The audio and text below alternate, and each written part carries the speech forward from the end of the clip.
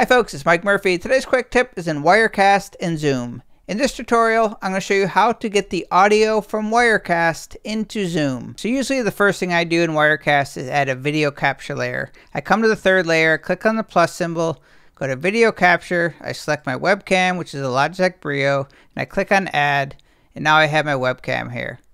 The next thing we need to do is add an audio capture layer. I'm going to add that below. I'll just click on the plus symbol, click on audio capture, and select your audio interface. So a lot of people using Wirecast in Zoom want to be able to run a slideshow or play a video file or play some audio. So for that, I'm just going to add another layer above me here. I'm going to click on this plus symbol above the video capture layer. I'll go to screen capture. I'm going to go to screen capture.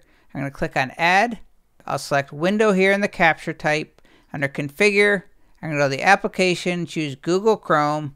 I'm going to play a video from YouTube through Wirecast and we're going to play it through Zoom. You'll also want to check this box right here, Capture System Audio. So whatever audio is playing through your computer will also go through Wirecast. Zoom is only going to show and play whatever is in the live window. So for that, you can click on this little arrow right here or use the keyboard shortcut, the spacebar, to bring everything over to the preview window to the live window. If you are not seeing audio levels over here on the live side, all you have to do is just click on this little speaker icon and now you will see the levels from your audio capture layer. And now it's time to set it up so we can get the video and the audio from Wirecast into Zoom. To do that, we're going to come up here to the output menu, go to virtual camera out.